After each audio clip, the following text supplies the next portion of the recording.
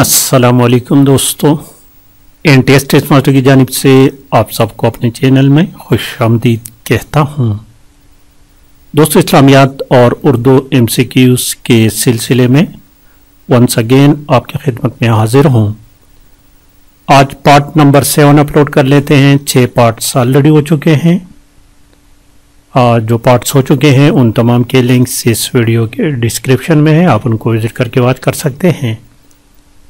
तो आज का क्वेश्चन देखते हैं दोस्तों, आज का पहला क्वेश्चन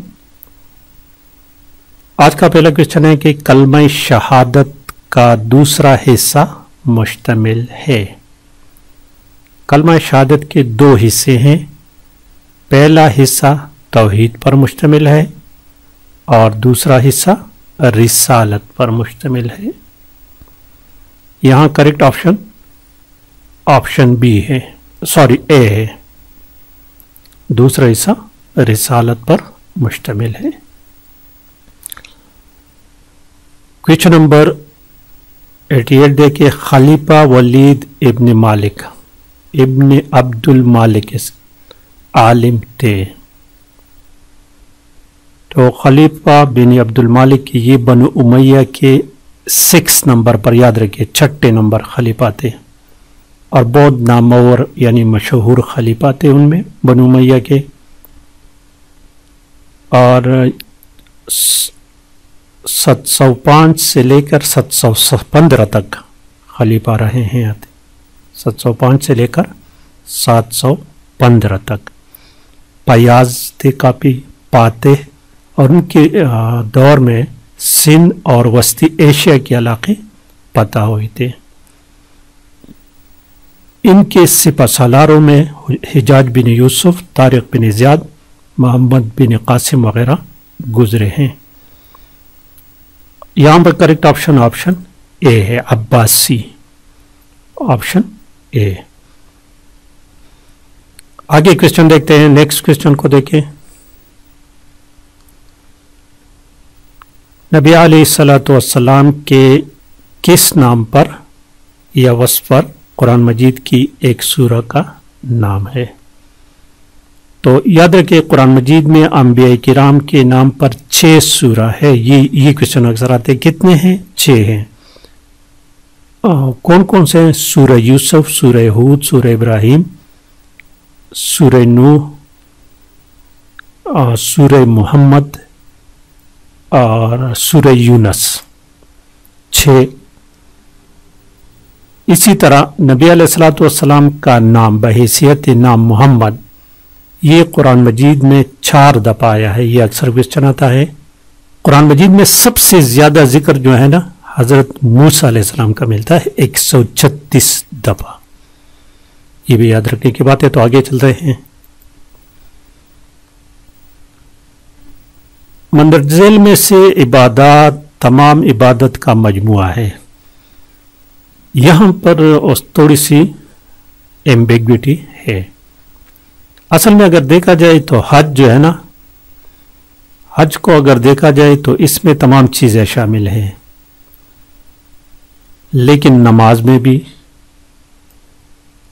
तो ये दो चीज़ें थोड़ा सा आप कंफर्म कर ले। किताबों में देखिए, ये किताबों में होगा, इस्लामियात की किताबें रीड कर ले स्कूल के। तो मेरे ख्याल के मुताबिक नमाज़ जो है ना द बेस्ट चॉइस है। लेकिन आप दोस्तों ने इसको थोड़ा सा कंफर्म कर देना है, मुझे भी बता देना है। आगे चलते हैं। नबी सलाम ने ताइब में क़ियाम फरमाया। ताइब का वाक़ बहुत दर्दनाक वाक़ है। मौका मिले दोस्तों तो जिन दोस्तों ने पढ़ा है तो काफ़ी दोस्तों ने पढ़ा होगा। लेकिन जिन दोस्तों ने नहीं पढ़ा तो रीड कर ले इसको। ताइब के वाक़े से पहले नबी सलाम के साथ जो सोशल बाइकाट की गई थी, तीन साल शाब अभी तालिब में रह चुके थे। उसके बाद जब आपके छच्चा और आपकी बीवी हज़रत खदीजा रदी अल्लाह तला हुई आमुलहुजन उसको कहते हैं उस साल को। और जब नबी सलाम परेशान भी थे और कुरैश मक्का के मुश्किन की वजह से परेशान भी थे तो ये सोचा कि चलो ताइब का चलते हैं। वहाँ पर बनु सकीब नामी एक बड़ा कबीला था, ये भी याद रखे, सकीब नामी एक कबीला था। सोचा कि अगर वो ख़ानदान या वो कबीला इस्लाम ले आए तो थोड़ी सी आसानी हो जाएगी। अब यहाँ पर जो क्वेश्चन आते हैं कभी कभार कि ताइप और मक्का का फासिला कितना है? तो बुक्स में आप थोड़ा सा कंफर्म कर लें, ये नेट पे कभी कहीं पर 92 किलोमीटर लिखा हुआ है, कहीं पे 40 मील लिखा हुआ है, इसको थोड़ा सा आप कंफर्म कर लें। और ताइप ये मक्का से बाहर, जो है ना एक वादी का नाम है और बहुत खूबसूरत वादी है। नबी सलाम पैदल कर, चलकर गए थे। एक सवाल, दूसरा क्वेश्चन जो आता है कि ताइब के सफ़र में आप वसल्लम के साथ कौन थे? तो जैद बिन हारिसा रौदल्ला हो थे। फिर ये क्वेश्चन आता है कि कितने दिन क्याम किया था? यहाँ पर दिन का ज़िक्र नहीं, दिनों की बात है। जहाँ, यहाँ महीने निकाल दे। तो यहाँ देखिए ये भी महीना है, ये भी महीना है, ये भी महीना है। चालीस दिन तो महीने से ज़्यादा हो गए ना। तो ऑटोमेटिकली ऑप्शन सी करेक्ट आता है, लेकिन ये भी नेट पर अगर आप सर्च करें तो कहीं पे दस दिन लिखा है, कहीं पे पंद्रह, आप किताबों से इसको थोड़ा सा कंफर्म कर ले तो बेहतर होगा। एक दो, और, नबी सलाम घर घर जाकर उन लोगों को दिया। आखिर में तीन सरदारों को जमा किया, अपनी पैगाम पहुँचे उन्होंने भी बहुत गुस्ताखान अल्फाज के मज़ाक उड़ाया बच्चों को आप वसल्लम के पीछे लगाया। वापसी पर, जिस बाग में आपने पना ली थी, जहाँ पर आप वसल्लम गए थे, वो बाग किसका था? वो उद्बा और शीबा का था। दूसरा क्वेश्चन आता है कि उस बाग में जो गुलाम था, उसने इस्लाम कबूल किया था, उसका नाम क्या था? उसी वक्त, उसी दिन क्योंकि वो उसका नाम था अद्दास। ये याद रखना ईसाई था उस वक़्त। और फ़ौर मुसलमान हो गए थे उस वक़्त। नबी वसल्लम की अखलाक़ी मुबारक की वजह से। आगे चलते हैं, नेक्स्ट क्वेश्चन को ज़रा देखें। हजूर सलाम ने पता मक्का के दिन अबू सुफियान के अलावा किसके घर को दारुल अमन करार दिया था? तो इसका मैं करेक्ट ऑप्शन ऑप्शन सी है, हज़रत हकीम इबन हज़ाम ये हकीम इबन हज़ाम ने एक दफ़ा नबी सलाम से अर्ज़ किया कि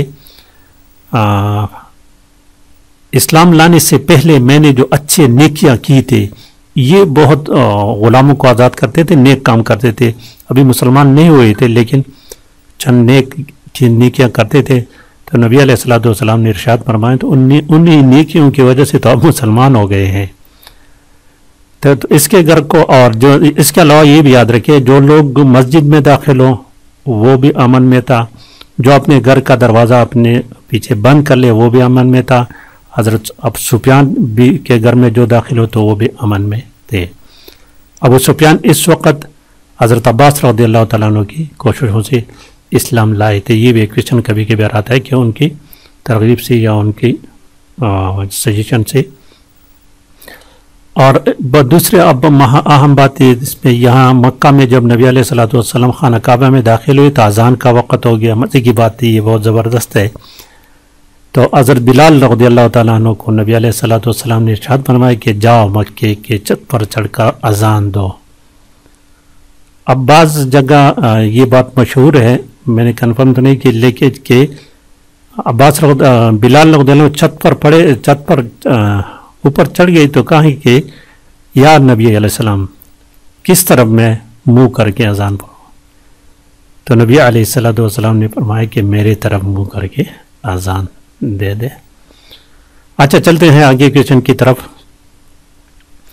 पता है, मक्का ये इस बारे में मैं बात पहले भी बता चुका हूँ काफ़ी दफ़ा। इसमें लश्कर की तादाद अक्सर पूछी जाती तो दस हज़ार का लश्कर था नबी सलाम के साथ। ये बीस रमज़ान आठ हिजरी को यह वाक़ हुआ था। और इसकी बुनियादी वजह क्या थी ये भी कभी कहा जाता है। इसकी बुनियादी वजह जो है ना वो, वो सुलह हुदैबिया की खिलाफ वर्जी की थी उन लोगों ने। अच्छा आगे चलते हैं थोड़ा सा। इस क्वेश्चन को देखिए कुरान कुरान मजीद में नबी करीम वसल्लम के अलावा किसकी सीरत के लिए उस फैसन हज़रत इब्राहिम आसमाम के लिए यह लफज इस्तेमाल हुआ है? ऑप्शन सी है। और आगे जो क्वेश्चन है ये क्वेश्चन है कि कुरान करीम ने कताल का मकसद बयान किया है, पितना पसाद का खातिमा। पितना और पसाद का खातिमा जिहाद या कताल जिसको कहते हैं। और ये सुरनफाल आया नंबर थर्टी नाइन पे जाके आप स्टडी कर लें थोड़ा सा इसको। नेक्स्ट क्वेश्चन, बस जी, आज के लिए इतने ही थे। दोस्तों, लाइक और शेयर लाजमी क्या करें। Thank you for watching